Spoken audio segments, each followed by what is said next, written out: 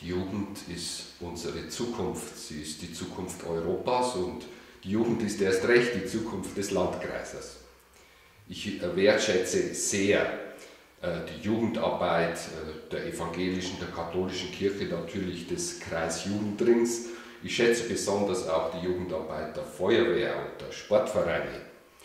Und ich denke, dass eigentlich die Arbeit äh, der Jugend in Zukunft noch wichtiger wird, weil man muss sehen, auch in unserem Landkreis, wir sind eine immer buntere und lebendigere Gesellschaft und man darf niemals die integrative Kraft der Jugendarbeit unterschätzen.